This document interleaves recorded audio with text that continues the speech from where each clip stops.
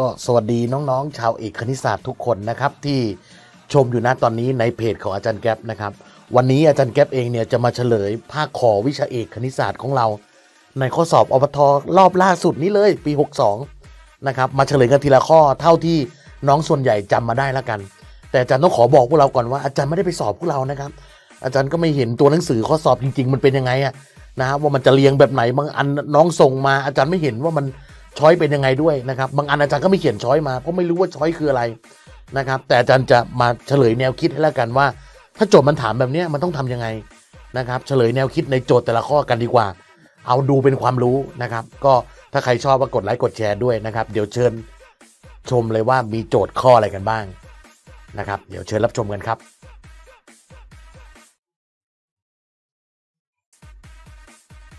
ก็ข้อนี้เป็นในส่วนของตรีโกณมิตินะครับ ในหลายคนชอบเรื่องนี้เลยถูกต้องไหมฮะเออบางคนบอกชอบบ้าเลยอาจารย์นะคือตรีโกณมิติเนี่ยถ้าน้องไม่ได้สัมผัสมันนะครับ อาจารย์บอกทุกเรื่องเลยดีกว่า ทุกเรื่องในคณิตศาสตร์ถ้าน้องไม่ได้สัมผัสมันบ่อยๆไม่ได้สอนมันบ่อยๆนะครับ ไม่ได้จับมันบ่อยๆเนี่ยน้องจะไม่คุ้นชินกับมันหรอกนะ บอกเลย อย่างข้อสอบตรีโกณมิติเนี่ยนะฮะถ้าน้องคุ้นชินกับมันนิดนึง ฝึกมันนิดนึงน้องจะทำได้ นะครับอาจารย์ถึงบอกว่าใครติวกับอาจารย์เนี่ยเปิดฟังบ่อยๆฟังซ้ำๆนะครับนะเพราะนั้นอะมาดูเรื่องนี้มาดูข้อนี้กันเลย เขากำหนดให้ a เท่ากับเซกหนึ่งองศาลบแทนหนึ่งองศานี่คือ a และ b เท่ากับเซกสององศาลบแทน2องศาเขาถามว่าจำนวนใดเนี่ยนะครับไม่ใช่จำนวนใดข้อใดเนี่ยมีค่ามากที่สุดนะฮะประเด็นของข้อนี้นะครับถ้าน้องดูดีๆนะ a กับ b เนี่ยอาจารย์ไม่ห่วงหรอกเดี๋ยวเราสามารถหาได้ว่าใครมากกว่าหรือน้อยกว่า ที่อาจารย์เห็นช้อยเนี่ยตอนแรกอาจารย์ก็ไม่มีช้อยก็ไปถามน้องๆ ไปดูเพจอื่นที่เขาจำเขาสอบกันมาบ้าง ก็ได้ช้อยมาตามนี้นะครับ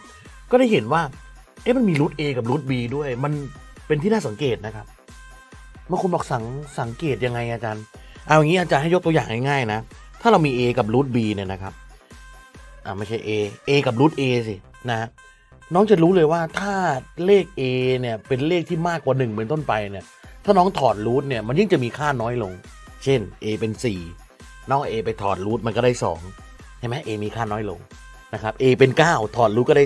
3 เพราะฉะนั้นถ้า A ของเรามีค่ามากกว่า 1 เป็นต้นไปนะครับ ถอดรูทค่ามันจะน้อยลงเสมอ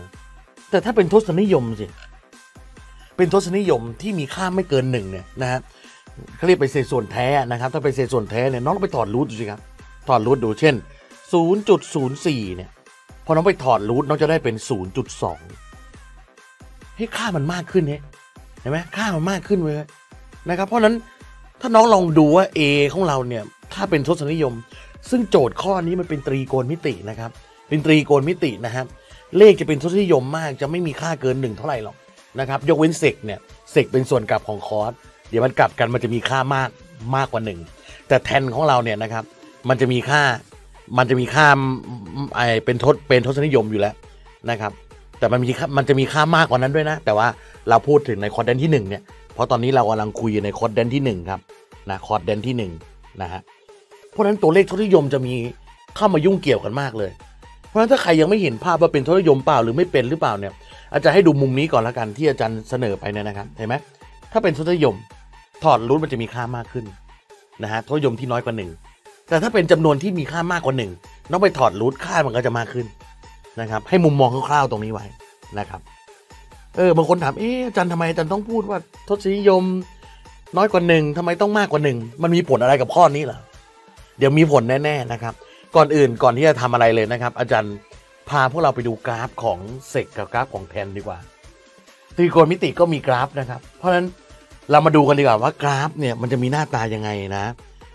ถ้าน้องอยากไปดูสวยๆนะน้องไปเปิด Google เอานะครับ อาจารย์เขียนแบบคร่าวๆให้ดูนะอ่าสมมติอันนี้เป็นนะฮะแกน x แกน y นะครับ แกน x แกน y นะเพื่อเป็นการไม่เสียเวลาเดี๋ยวก๊อปไปอีกแกนหนึ่งเพราะมี 2 กราฟนะครับอ่าคัดลอกเดี๋ยวอ่ามี 2 กราฟนะครับ เขียนคู่ๆกันไว้นะอย่างนี้อ่าประมาณนี้นะครับ เอาอะไรก่อนดีอะเอาเอ่อแทนก่อนแล้วกันอะแทนแทน น้องไปเปิดดูนะครับ แทนเนี่ยแทนคือไซน์ส่วนคอร์สแทนสามสิบลองน้องจำได้อยู่แล้วแหละแทนสามสิบสี่ห้าหกสิบนี่ต้องจำให้ได้เลยนะ แทนสามสิบมีค่าหนึ่งส่วนรูทสามแทนสิบห้ามีค่าเป็นหนึ่งแทนหกสิบมีค่าเป็นรูทสามสังเกตครับ เมื่อแทนมีค่ามุมเข้ามาเนี่ยมีค่ามากขึ้นเรื่อยๆนะครับค่าเข้ามันก็จะมากขึ้นเรื่อยๆจาก1ส่วนรูทสามเป็น1แล้วก็เป็นรูทสามค่าของมันก็จะมากขึ้นเรื่อยๆจนกระทั่งถึง 90 องศาครับ จนทั่งถึง 90 องศาเนี่ยคือพายส่วน2เนี่ยนะฮะพายส่วน2เรเดียนเนี่ยน้องจะเห็นว่าค่าส่วนกลับของมันเนี่ยนะครับ มันจะหาค่าไม่ได้ไซน์มีค่าเป็น 1 คอสมีค่าเป็น0จำจุดตรงพายส่วน 2 ได้ใช่ไหมครับนะฮะอันนี้ตีโกนหนึ่งหน่วยต้องแม่นมากนะครับ อาจารย์ย้ำลูกศิษย์อาจารย์บ่อยๆว่าตีโกนหนึ่งหน่วย เอกลักษณ์ตีโกนมิตินี่ต้องแม่นนะฮะนะตอนนี้อยู่ในปูพื้นอยู่นะครับ น้องต้องได้ตรงนี้นะฮะแล้วก็จะมีตรง ที่เป็นลบพายส่วนสองนะครับ ลบพายส่วนสองนะบางคนถามเอออาจารย์มุมที่มันติดลบมันคืออะไรอาจารย์ มุมที่มันติดลบคือการวัดตามเข็มนาฬิกาลงมาไม่มีอะไรนะครับ เพราะฉะนั้นพอเป็นกราฟแทนเนี่ยตรงพายส่วนสองกับลบพายส่วนสองนะฮะตรง 90 องศาตรงมุมดิ่งอะนะครับ270 องศาอะไรตรงนี้เนี่ยมันจะหาค่าไม่ได้นะฮะ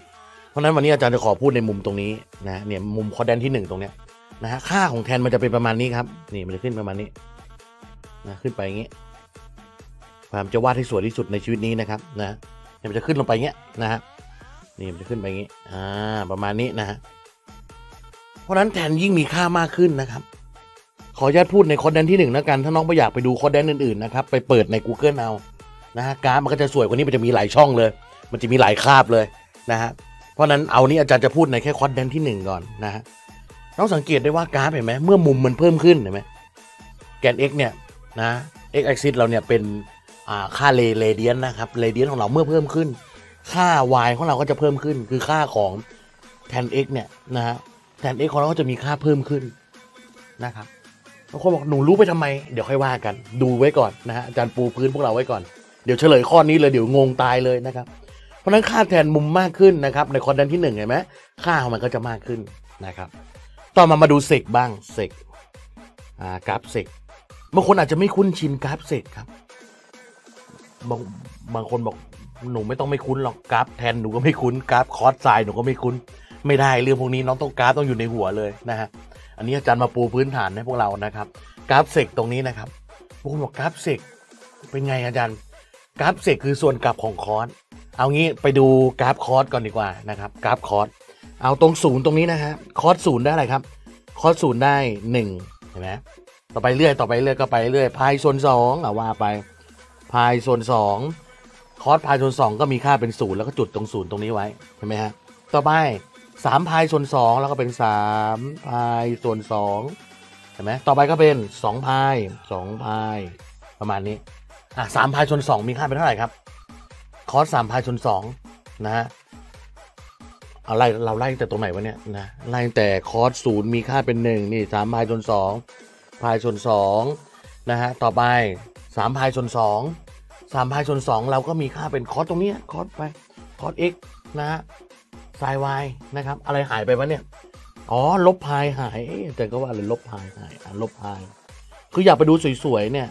ไม่ใช่ลบพายพายนะครับอยากไปดูสวยๆนะครับน้องไปดูใน Google นะฮะนะครับพายตรงนี้เป็น3พายส่วน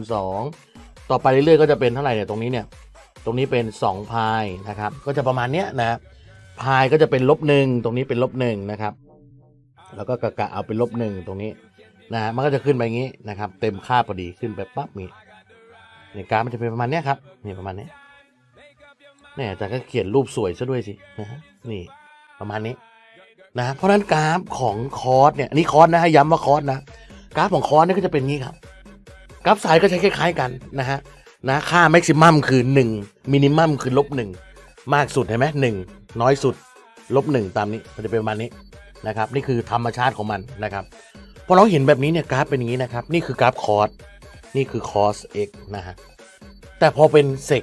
sec คือส่วนกลับของ cos นะฮะ sec คือส่วนกลับของ cos ประเด็นก็คือ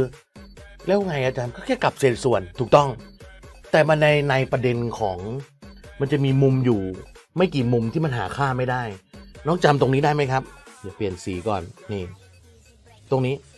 ค่า cos ของเรามีค่าเป็นศูนย์พอกลับเป็น sec เนี่ยศูนย์มันคือศูนย์ส่วนหนึ่งใช่ไหมฮะพอกลับเป็น sec เนี่ยศูนย์คือศูนย์ส่วนหนึ่งพอกลับเป็น sec ปั๊บเนี่ยมันเป็นหนึ่งส่วนศูนย์มันกลับกลายเป็นหาค่าไม่ได้นะครับ เพราะฉะนั้นในมุมตรง 90 องศานะฮะเนี่ยมุมตรงเนี้ย90 องศาเนี่ยนะครับ ค่าของ sec เนี่ยจะหาค่าไม่ได้ ทางฝั่งซ้ายเขาติดลบเนาะลบพายส่วนสองลบพายอะไรก็ว่าไปถอยหลังไปเรื่อยๆนะครับ ในมุมของ sec เนี่ยค่าตรง 90 องศาก็หาค่าไม่ได้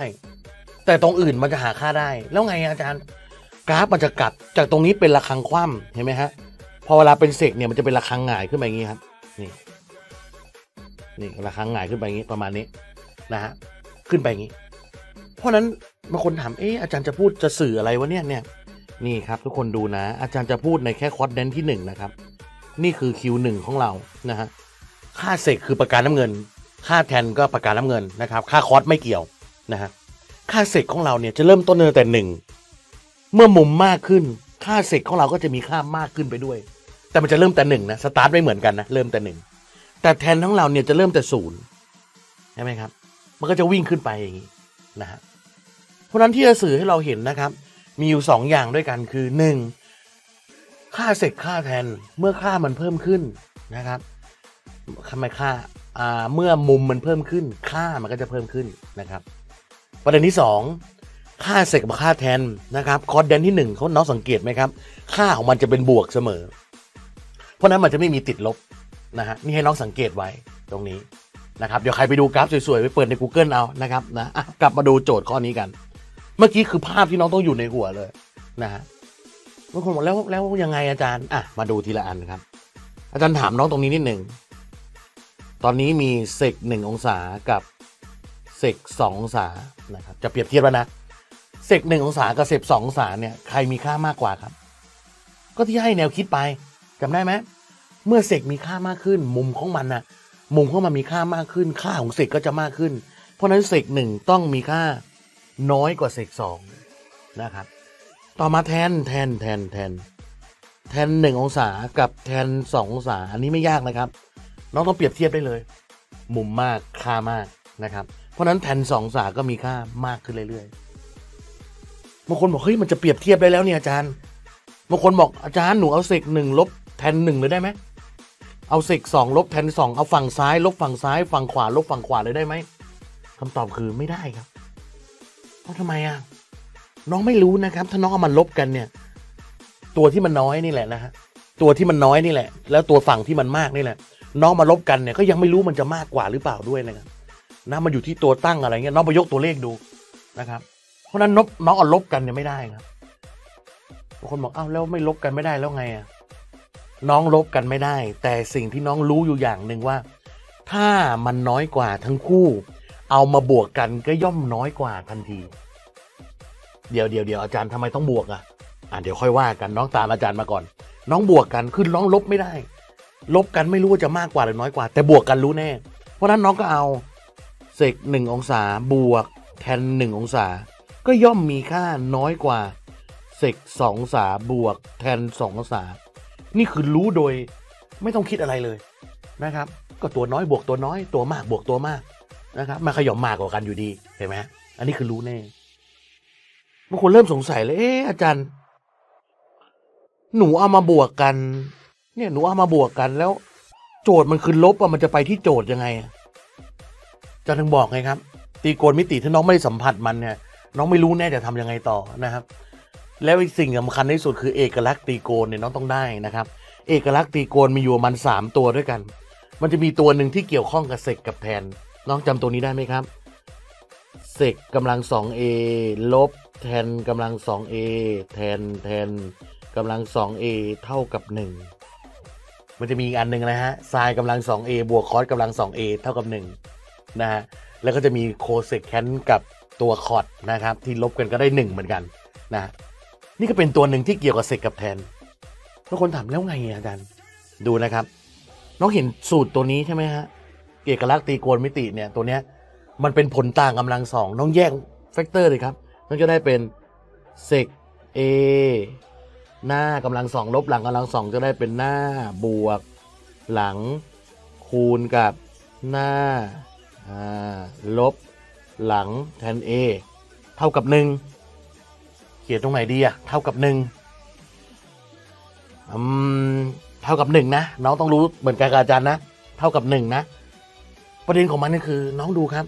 หน้าบวกหลังคูณหน้าลบหลังเนี่ยคูณกันแล้วมันเท่ากับหนึ่งเขียนตรงนี้ดีกว่า เท่ากับหนึ่งนะฮะหมายความว่าอะไรครับสองเล็บคูณกันเป็นหนึ่งสองเล็บคูณกันเป็นหนึ่งหมายความว่าอะไร หมายความว่ามันเป็นอินเวอร์ซึ่งกันและกัน มันเป็นส่วนกลับซึ่งกันและกันนะฮะเพราะนั้นน้องดูอย่ากระพริบตานะครับ นี่ น้องได้ว่าเซกหนึ่งลบแทนหนึ่งองศา มีค่าเท่ากับ a น้องได้ว่าตรงนี้เป็น a เซกลบแทนเป็น a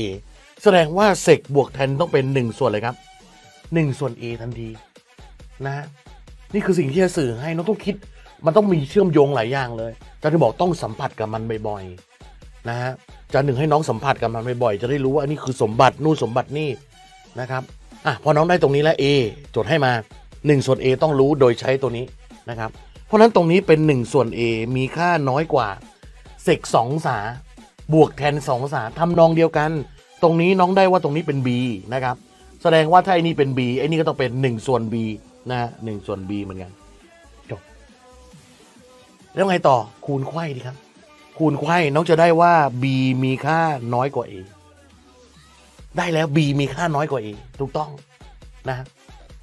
น้องได้แล้วนะ A มีค่ามากนะ แล้วหนูจะฝน A เลยไหมอาจารย์ ยังไม่รู้ครับ เขาถามว่าใครมีค่ามากที่สุดนะฮะเพราะนั้นใจขออนุญาตทวนตรงนี้ก่อนนะครับ ก่อนจะไปโซนอื่นนะ ทวนตรงนี้ก่อน น้องรู้กราฟแทน รู้กราฟเซกอาจารย์อธิบายไปหมดแล้ว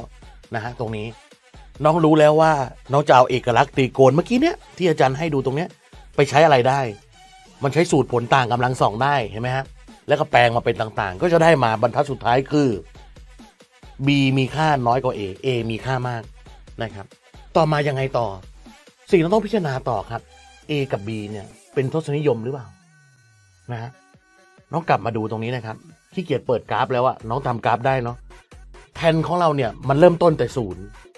แต่เซกของเราเนี่ยมันเริ่มต้นแต่หนึ่งนะฮะเพราะนั้นถ้าน้องมองภาพ A ตรงนี้นะครับ แทนมันเริ่มจากศูนย์เซกมันเริ่มจากหนึ่งค่าของมันคือหนึ่งนะมันก็จะไล่ขึ้นไปเรื่อยๆ พอเวลามันเอามาลบกันเนี่ยมันเป็นทศนิยมอยู่แล้วครับ เป็นทศนิยมอยู่แล้วบางคนบอกรู้ได้ไงอาจารย์ค่าแทนจะวิ่งไวกว่าค่าเสกอยู่แล้ว เสกเราจะบานออกนี้เนี่ยเปิดกราฟก่อนเห็นไหมค่าแทนจะวิ่งชันกว่านะฮะเพราะนั้นตอนลบกันเนี่ย ตรงนี้มันจะเป็นทศนิยม 0.1 กว่าๆอะไรประมาณเนี้ยนะฮะ0.001อะไรก็ว่าไปนะครับ แต่เสกของเราเนี่ยก็จะวิ่งไปเรื่อยๆหนึ่งหนึ่งจุดศูนย์หนึ่งหนึ่งจุดสองไปเรื่อยๆนะครับ ค่าแทนจะวิ่งไวกว่า เพราะนั้น ตอนน้องเอามาลบกันเนี่ยนะครับเสกหนึ่งลบแทนหนึ่งเนี่ยมันจะเป็นทศนิยมแน่นะครับเป็นทศนิยมแน่ เพราะนั้นฟันธงตรงนี้ก่อนเลยว่า น้องรู้แล้วว่า A มีค่ามากกว่า B แน่ แล้ว A กับ B เป็นทศนิยมแน่ แต่พอตอนถอดรูทครับ ตอนถอดรูทจำได้ไหมครับที่อาจารย์โปรยไว้ตอนแรกนะฮะตอนถอดรูทถ้าน้องรู้ว่าเป็นทศนิยมที่มีค่าไม่เกินหนึ่งนะฮะเช่นศูนย์จุดสองห้าอย่างเงี้ยพอน้องถอดรูทนะครับ น้องถอดรูทค่าของมันก็จะมีค่าอะไรศูนย์จุดศูนย์สองห้าอะไรเงี้ยน้องไปถอดรูทดูนะครับค่ามันจะมีค่าเพิ่มขึ้นจำที่โปรยไว้ตอนแรกได้ไหมเพราะฉะนั้น A เราเป็นทศนิยม น้องไปถอดรูท A เนี่ยเดิมเนี่ยมันก็มากกว่าไอ้คู่นี้อยู่แล้วนะครับ A มากกว่า B อยู่แล้ว น้องไปถอดรูทมาแสดงว่ารูท A ก็ต้องมีค่ามากกว่าทั้งปวงในนี้นะครับ เพราะฉะนั้นคำตอบข้อนี้คือรูท A ฝนได้เลย พูดเหมือนอาจจะนานนะครับนี่พูดไปกี่นาทีแล้วโอ้สิบกว่านาทีเลยเหรอนะเป็นคนพูดติดติดละเอียดนิดนึงนะครับ เพราะฉะนั้นน้องก็ไปดูอันนี้ค่อนข้างละเอียดอยู่แล้วนะครับจริงๆเนี่ยมันคิดไม่นานหรอกนะครับ ภาพตรงนี้เนี่ยอย่างพวกอาจารย์เนี่ยไม่ทดอยู่แล้วนะครับไม่ทดอยู่แล้วกราฟเกิร์ฟเนี่ยมันอยู่ในหัวอยู่แล้ว อะไรวิ่งไวกว่าวิ่งช้ากว่านะครับ แล้วทันสันนิษฐานได้จาก choice เลยด้วยซ้ำไปนะครับ เพราะฉะนั้นอาจารย์ก็อยากให้มันดูมุมมองนะครับมานำเสนอมุมมองให้พวกเรา อย่างแรกวันนี้ต้องกลับไปศึกษากราฟนะครับ ศึกษาสูตรตีโกณมิติ เอกลักษณ์ตีโกณมิติ แล้วใช้มันบ่อยๆว่ามันใช้ในมุมไหนได้บ้างนะครับวันนี้ก็มานำเสนอให้ดูในการติวสอบวิชาเอกของเรานะครับ เฉลยข้อสอบอปท62 เรานะครับ วันนี้ก็ลาไปก่อนครับ สวัสดีครับน้องๆท่านใดสนใจชุดติววิชาเอกด้วยตนเองนะครับ ประกอบไปด้วย DVD ทั้งหมด 6 แผ่น หนังสือ 2 เล่ม รวมกันแล้ว 1,500 บาทนะครับ ถือว่าโปรโมชั่นนี้ถูกมากๆนะครับ พร้อมสอบแน่นอนและหลายคนถามว่าชุดนี้พร้อมสอบไหม พร้อมสอบแน่นอน 6 แผ่นนี้ ประกอบไปด้วยทุกเรื่องที่น้องจะสอบในครูผู้ช่วย ภาค ข วิชาเอกของเรา หรือจะเป็นการติวออนไลน์ก็ได้นะครับ สะดวกทั้งหมดออนไลน์มีหนังสือจะส่งให้ถึงบ้าน ราคาตอนนี้โปรโมชั่นอยู่ที่ 1,499 ก็ติดต่อได้ที่แอดมินเลยครับสอบถามโปรโมชั่นได้นะฮะถ้าอยากประสบความสำเร็จมองหาแก๊ปติวเตอร์ครับ สวัสดีครับทุกคน